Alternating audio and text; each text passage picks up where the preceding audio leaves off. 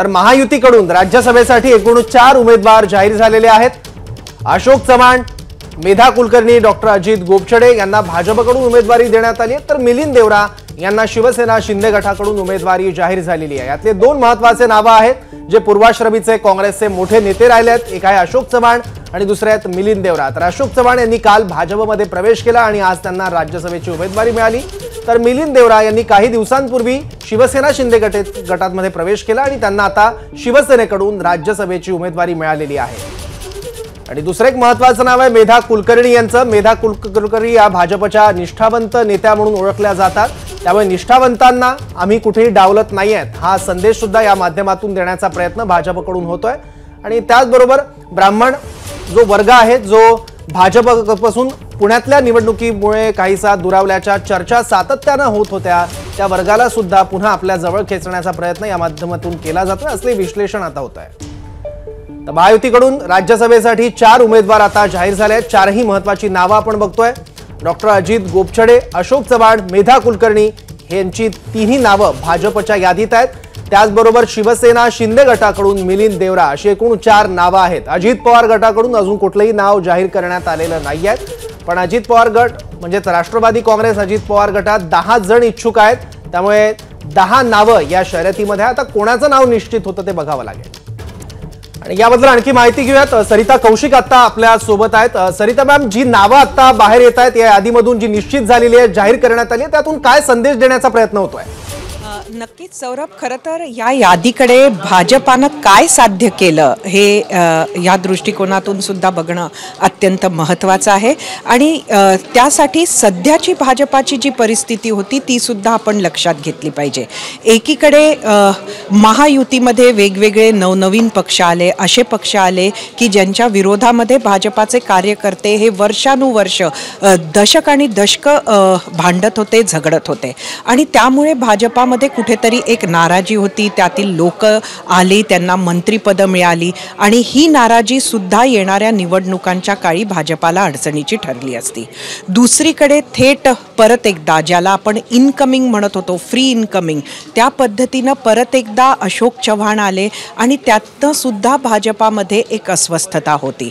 त्यामुळे बाहेरून आलं की काहीतरी आपल्याला मोठं मिळतं अशा पद्धतीची जी मानसिकता होती आणि कार्यकर्त्यांनी सतरंजीच उचला उचलावी का ह्या मानसिकतेत ह्या अस्वस्थतेमध्ये मंडळी बऱ्याच काळापासून होती आणि ह्याचा खूप मोठा फटका खरं तर भाजपाला पडला असता. मात्र त्याला इंटर पार्टी इंजिनिअरिंग भाजपानं कुठंतरी ह्या नावांमधनं साध्य केलं आहे असं आपण म्हणू शकतो. एकीकडे जसं राजकारणात एक सोशल इंजिनिअरिंग असतं तर भाजपानं हे इंजिनिअरिंग पक्षाच्या अंतर्गत अत्यंत व्यवस्थितपणे साध्य केलेलं आहे. तर ते कसं एकीकडे अशोक चव्हाण यांना अगदी काल आले आणि आज उमेदवारी मिळाली. त्यामुळे त्या नाराजीला बॅलन्स करणारी मेधा कुलकर्णी आणि डॉक्टर अजित गोपछडे यांची नावं आहेत. मेधा कुलकर्णी म्हणजे कोण? मेधा कुलकर्णी म्हणजे ज्यांना अतिशय पक्षनिष्ठ मानल्या जातं. जी एक नवीन ब्रीड ऑफ पॉलिटिशियन्स आहे त्यामध्ये त्या खरं तर बसत नाही. स्पष्टपणे आपलं मत मांडतात पण पक्षाशी मात्र त्या निष्ठावंत आहेत. आणि अशा निष्ठावंत कार्यकर्त्यांना त्यांनी काहीतरी आवाज उठवला बोललं. म्हणून त्यांना आपण बाजूला करत नाही त्यांनाही पक्षात स्थान आहे. हा अत्यंत महत्त्वाचा संदेश भाजपानं दिला. दुसरीकडे डॉक्टर अजित गोपछडे. हे म्हणजे कोण? तर बाबरी मशीद जेव्हा पाडल्या गेली त्यावेळेला बाबरीच्या घुमटावर असणारी जी काही महत्त्वाचे फोटोज आपल्याला आपल्या नजरेसमोर आहेत त्या घुमटावर असणारे हे डॉक्टर अजित गोपछडे. त्यावेळेला अत्यंत तरुण विश्व हिंदू परिषदेचे ते कार्यकर्ते होते. आणि भाजपाचं अगदी कोर जी आयडिओलॉजी आहे संघाची त्या संघाच्या आयडिओलॉजीमधनं आलेले हे डॉक्टर अजित गोपछडे. त्यामुळे कोर आयडिओलॉजीशी कोर कार्यकर्त्यांशी कुठंही छेडछाड न करता पक्ष वाढवतो आहे आणि इतर लोक सामावून घेत आहोत. कुठंतरी दुधात पाणी न टाकता दुधात साखर टाकतो आहे अशा पद्धतीचा संदेश भाजपानं साध्य केलेला आहे. आणि त्यात ही निवडणूक हिंदुत्वाचा जो संपूर्ण एक मोठा प्लँक आहे तो लढताना डॉक्टर अजित गोपछडे यांचं नाव अत्यंत महत्त्वाचं ठरू शकतं. त्यामुळे बऱ्याच गोष्टी ह्या फक्त तीन नावांमधनं भाजपानं साध्य केलेल्या आहेत. सौरभ. बरोबर. खूप महत्वाचं विश्लेषण आहे. भाजप नेते आमदार प्रवीण दरेकर सुद्धा आता आपल्यासोबत कनेक्ट झालेले आहेत. प्रवीण दरेकरजी भाजप भाजपची ही जी यादी जाहीर झालेली आहे त्या नावांबद्दलचं विश्लेषण आता सुरू होतं. तुम्हाला प्रश्न विचारतील. एबीपी माझाच्या संपादिका सरिता कौशिक.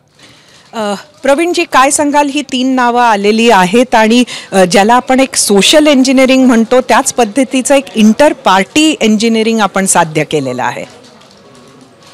मला वाटतं सरिता अतिशय उत्तम आणि समर्पक असं विश्लेषण आपलं मी या ठिकाणी ऐकलं. कारण आपण बघाल मेघा कुलकर्णी या हार्डकोर भारतीय जनता पार्टीच्या कार्यकर्त्या आहेत. आणि तिकीट दिलं नाही तरी पक्ष निष्ठा समजून त्याने चंद्रकांत दादांच्या वेळेला त्या ठिकाणी काम केलं. तसं काय त्यांचं कामही चांगलं होतं. हं, तरी पक्षाने आदेश दिला शिरसावंद मांडणारी कार्यकर्ती त्या ठिकाणी. म्हणून उमेदवारींचं समर्थन करणं अत्यंत संयुक्तिक ठरेल. दुसरं आपण जे विश्लेषण केलं की बाहेरून जे येतात त्यांना आडगळी टाकत नाहीत. बऱ्याचदा भारतीय जनता पार्टीवर असा आरोप होतो की घेतात वापर करतात सोडून देतात. तर क्षमतेचा नेता असेल कॅलिबर असेल तर त्या ठिकाणी त्याला सन्मान दिला जातो. हं, सुद्धा अशोक चव्हाणांच्या उमेदवारीवरून भारतीय जनता पार्टीनं दाखवून दिलंय. जेणेकरून इतर पक्षातले चांगले नेते कार्यकर्ते त्या ठिकाणी विश्वासानं भारतीय जनता पार्टीमध्ये सामील होऊ शकतात. मोदी साहेबांच्या नेतृत्वावर विश्वास दाखवू शकतात.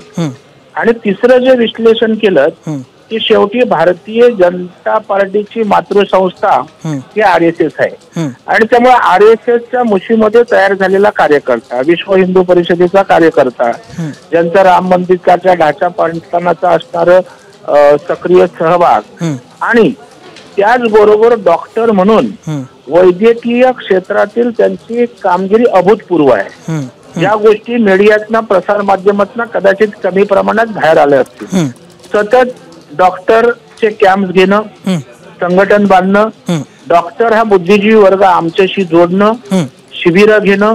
लाखोच्या संख्येनं वैद्यकीय सेवा देऊन लाभान्वित करणारे नक्कीच प्रवीणजी म्हणजे ह्यातनं एक आम्ही म्हणजे माझा पहिला प्रश्न हा आहे की येणाऱ्या काळात भाजपानं स्वतःचा एक जो निवडणुकीचा मोठा मुद्दा आहे तो परत एकदा स्पष्ट केला आहे असं म्हणायचा का? आणि तो आहे हिंदुत्व. नाही हिंदुत्व तर आहेच. हिंदुत्वाशी भारतीय जनता पार्टी कॉम्प्रोमाइज करू शकत नाही. करायचं काय कारण नाही तो आमचा बेस असेल. अंतिम श्वास असेपर्यंत भूमिकेपासून पक्ष. किंवा कॅडर दूर जाणार नाही हे त्या ठिकाणी काळ्या दगडावरची रेख आहे पण मेधा कुलकर्णी आणि डॉक्टर अजित गोपछडे यांना उमेदवारी देऊन कार्यकर्त्यांमधली अस्वस्थता कमी झाली असं तुम्हाला वाटतंय का नाही निश्चितच कार्यकर्त्यांना दिलासा मिळालाय. एक लक्षात घ्या भारतीय जनता पार्टीचा कार्यकर्ता एखाद्या निर्णयावरून थोडा बहुत नाराज होऊ शकतो. पण अस्वस्थ होणार नाही. याचं कारण एक हिंदुत्वाची विचारधारा विकासाचं राजकारण एका वेगळ्या मुशीत धाटणीत तयार झालेला तो कार्यकर्ता आहे. आणि त्याच्यामुळे मोदी साहेबांचं वादातीत नेतृत्व महाराष्ट्रात देवेंद्रजींचं नेतृत्व याच्यामुळे तो निष्ठेनं आणि चौकटीत काम करणारा कार्यकर्ता आहे. पण त्यांच्या मनाला उभारी देणारा हा निर्णय आहे. मेधा कुलकर्णी अजित गोपछडेंचा नंतर अशोक चव्हाणांचा निर्णय झाल्यावर आपण बोलताय त्याप्रमाणे मनुष्य स्वभाव नाराजी होऊ शकते. परंतु ते बॅलन्स करण्याचं अत्यंत ललिया काम. आमच्या भाजपच्या वरिष्ठ नेतृत्वानं केल्याचं. अत्यंत स्पष्टपणे या ठिकाणी दिसतंय. आणि प्रवीणजी कुठेतरी हाही संदेश तुम्ही कार्यकर्त्यांना तर दिलाच. मात्र त्याचबरोबर इतर नेत्यांना सुद्धा इन्व्हिटेशन दिलंय असं म्हणायला पाहिजे का? की काल आले हो, आणि आज उमेदवारी मिळाली. होय मी तुम्हाला बोललो ना शेवटी हे बघा. हं, कुठलेही पक्ष संघटन या व्यवस्था जनतेच्या सेवेसाठी आहेत. हं, समाजाच्या सेवेसाठी आहेत ते विकासासाठी आहेत? हं. आणि जर इतर पक्षातले चांगले लोक हं. त्यांच्या पक्षाकडून काही होताना दिसत नाही भविष्य दिसत नाही अशा वेळेला विकासाचा अजेंडा घेऊन जर भारतीय जनता पार्टीच्या. आमचं नेतृत्व मोदी साहेबांना प्रभावित होऊन येत असतील. तर त्यांना घेऊन सोडून द्यायचं का. अडगळीत ठेवायचं का मग त्यांच्या क्षमतेचं काय त्यांना विश्वासाने. घेतलं त्याचं काय. त्याविषयी पण एक इतर पक्षामध्ये अत्यंत चांगला संदेश देण्याचं काम सुद्धा. आमच्या पक्ष नेतृत्वानं या ठिकाणी केल्याचं दिसतं नक्कीच धन्यवाद प्रवीणजी आपण परत वापस सौरभ तुझ्याकडे येऊया बरोबर. अतिशय महत्वाची ही प्रतिक्रिया होती आणि त्याचबरोबर भाजपचे जे कोर कार्यकर्ते आहेत त्यांनी सुद्धा समाधान व्यक्त केल्याची भावना आता दरेकरांनी व्यक्त केलेली आहे. एबीपी माझा. उघडा डोळे बघा नीट.